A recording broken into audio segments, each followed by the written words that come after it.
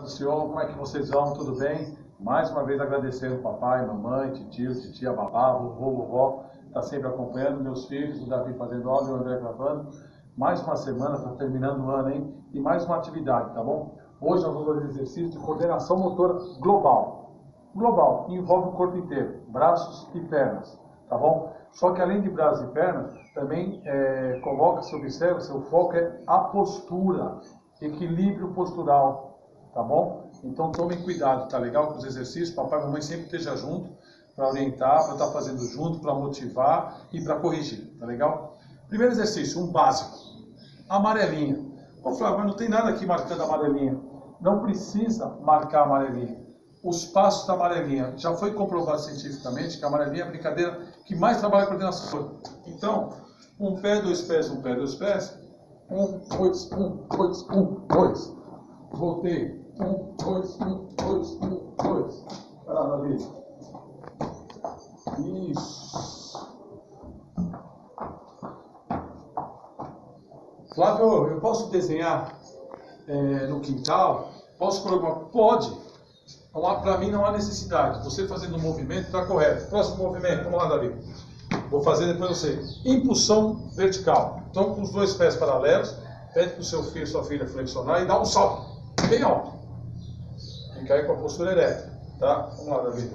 A gente faz duas vezes cada. Isso. Isso. Quando você aterrizar, flexiona um pouquinho o joelho, tá bom? Saltou, flexionou, parou. Postura correta. Faz mais uma vez. Desculpa. Vamos lá.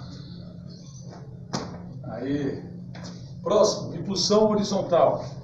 Flexiona o joelho, faz um salto bem grande para frente.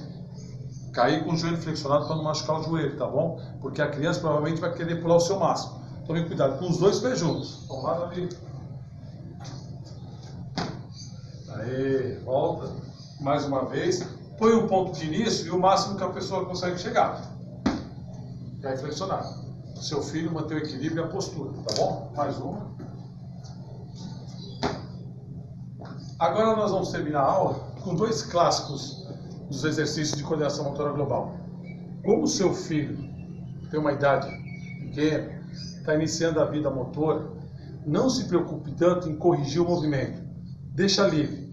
Flexão de braço. Três flexões. Um, dois, três. Vamos lá, Davi.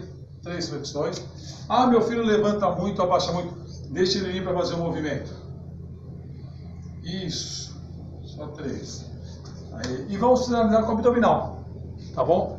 A mesma coisa. Sentado, joelho flexionado. Um, dois, três. Meu filho não consegue fazer assim. Faz com a perna reta, com a perna estendida. Não tem problema. Deixa o movimento livre.